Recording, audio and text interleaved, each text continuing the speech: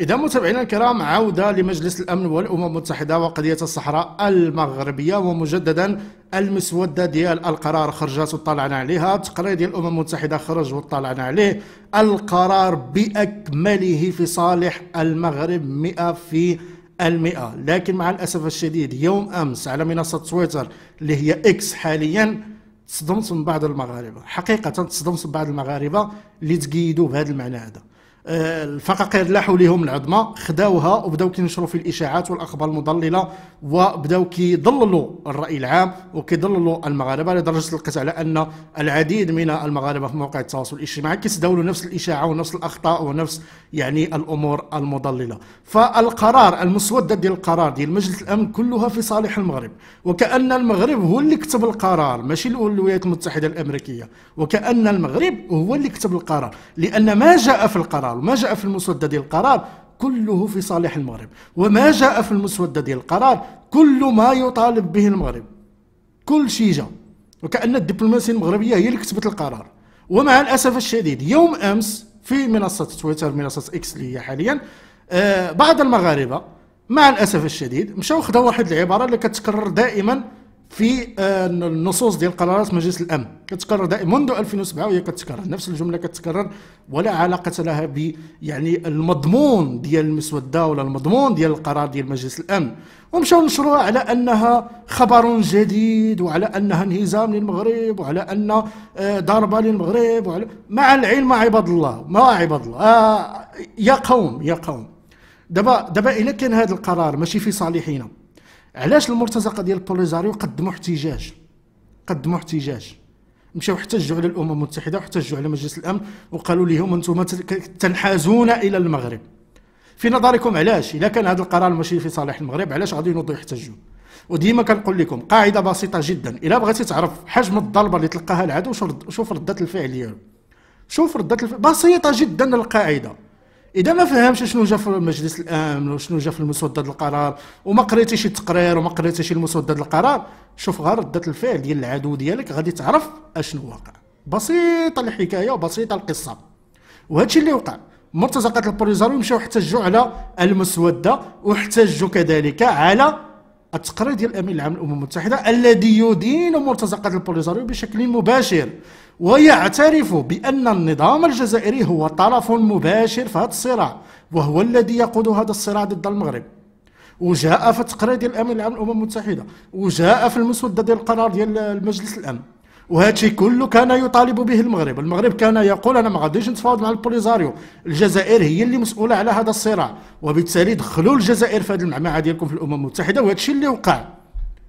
وجايين شي وحدين البارح مع الأسف الشديد في المنصة ديال إكس اللي هي تويتر سابقا وكينشروا بعض الأمور اللي بصراحة أنا تصدمت شي وحدين تصدمت فيهم حقيقة. كنت كنعتبرهم راه مثقفين وواعيين وعارفين اش كيديروا وعارفين اش كينشروا. فيوم الطامه الكبرى الطامه الكبرى أنهم رابطين هذه المسألة مع ما يحدث في غزة ونتنياهو وما إلى ذلك من هذه الأمور.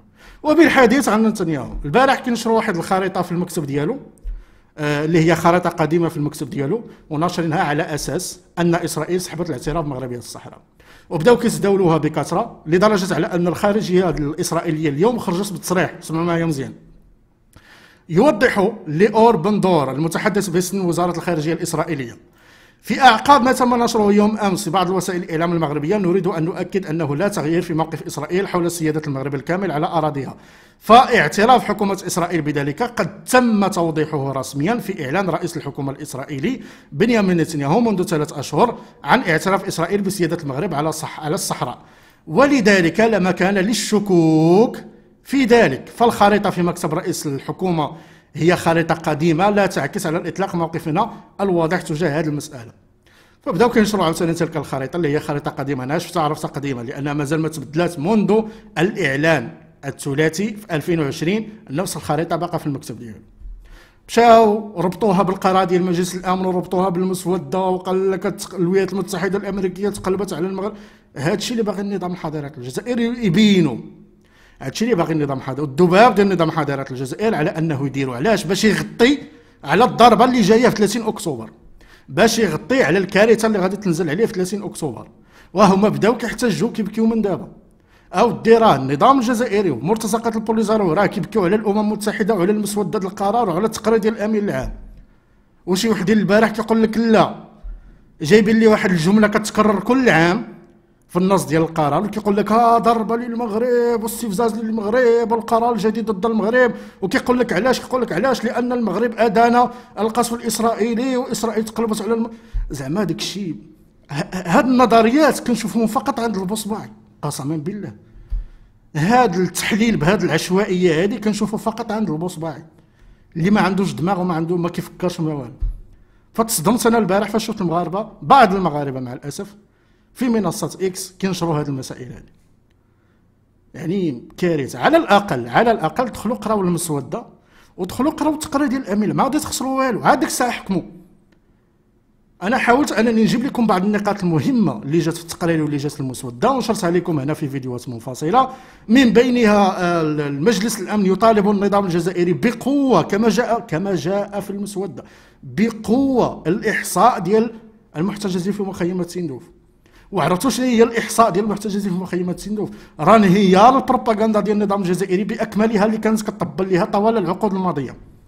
كيقول لك عندهم لاجئين وعندهم كذا وعندهم ما عرف شنو. راه الإحصاء انتهت البوليزاريو إذا مشاو داروا الإحصاء في في, في تندوف في مخيمات ديال تندوف انتهت البوليزاريو لأنهم غادي يكتشفوا أن هذوك اللي كاينة في تندوف لا علاقة لهم بالصحراء المغربية.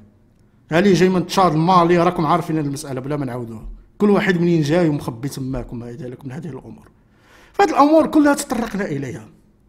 ومن بعد كيجي شي حد في المنصة ديال إكس ويضرب لك هادشي كامل للزيرو علاش؟ لأنه لصق في واحد الجملة اللي كتكرر كل سنة.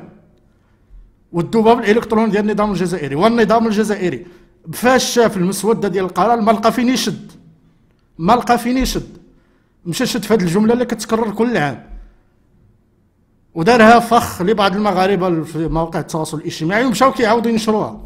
والطامة الكبرى كيربطوها بغزة ويربطوها بفلسطين ويربطوها بنتنياهو ويربطوها بالولايات المتحدة الأمريكية. يعني شي تخربيق اللي ما كتقبلوش العقل. خلاصة الموضوع. القرار ديال مجلس الأمن الجديد صاعقة على النظام الجزائري وعلى مرتزقات البوليزاريو. ما كيتحدث لا على استفتاء ولا على تقرير المصير. ولا على استقلال ولا على تلك الأسطوانات المشروخة اللي كيكررها النظام الحضاري الجزائري بل يشيد بالمجهودات ديال المغرب. يشيد بالمجهودات ديال المغرب. وكيتحدث على التنمية في الصحراء المغربية. الميناء الداخله الأطلسي طريق تيزنيس الداخلة المشاريع التنموية. كيتحدث كذلك على الزيارة ديال ستيفان دي مستورة أشنو شاف في الصحراء المغربية؟ أشنو عاين في الصحراء المغربية؟ وهذا الشيء بطبيعة الحال راكم كتعرفوا. راه طامة كبرى كتنزل على النظام الجزائري. لأن النظام الجزائري كيروج أن الصحراء فيها حرب وفيها قتيل وفيها ما عرف شنو وراكم عارف فيها حصار عسكري. ديمستورا فاش شاو عاين ورفع التقرير ديالو هو التقرير ديالو الآن كيأثر على القرار ديال مجلس الأمن.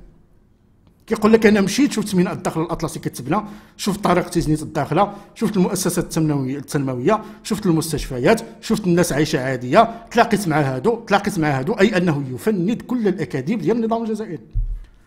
وشي وحدين البارح جاني لصقوا في واحد الجملة اللي بطبيعة الحال النظام الجزائري هو المسؤول عنها لأنه ما لقاش فين يشد ما لقاش باش يبرر. وانتظروا بعد التصويت على قرار ديال مجلس الأمن غادي يخرج بيان إدانة من البوليزاريو. بحال اللي وقع العام الفايت وبحال بحال اللي وقع العام قبل منه. وفي 2021 باش نذكركم النظام الجزائري القرار ديال 26 صفر جوج قرار ديال مجلس الأمن 26 صفر جوج النظام الجزائري خرج بيان إدانة. الا نسيتو نفكركم النظام الجزائري خرج بيان إدانة ديال ذاك القرار. وهذا العام غادي يديروا نفس غادي يخرجوا بيان إدانة. لأنه يدين النظام الجزائري ومرتزقات البوليزاري ويشيد بالمجهود ديال المغرب. لأنه كيفضح كيعري الواقع أو كيعري الأكاذيب ديال النظام الجزائري. وكيقول لك الواقع الصراحة شنو هو؟ يعني شنو؟ انتهى الموضوع. وكاين واحد الجملة طويلة عريضة في القرار كيقول لك الواقعية. على الأطراف التحلي بالواقعية. شنو هي الواقعية؟ الواقعية هي العكس ديال الأحلام والمتمنيات والأوهام. فاش كيقول لك الواقعية؟ أي انك نسى شي حاجة سميتها دولة ونسى شي حاجة سميتها دولة البوليزاريو ونسى شي حاجة سميتها آه المغرب غادي تقسم على جوج. هذه هي الواقعية اللي كتجي في القرار ديال مجلس الأمن وفي التقارير ديال الأمين العام للأمم المتحدة. فعلى كل متابعينا الكرام غادي نزيدوا نتفصلوا في هذا الموضوع لاحقا. إلى ذلك الحين السلام عليكم ورحمة الله تعالى وبركاته.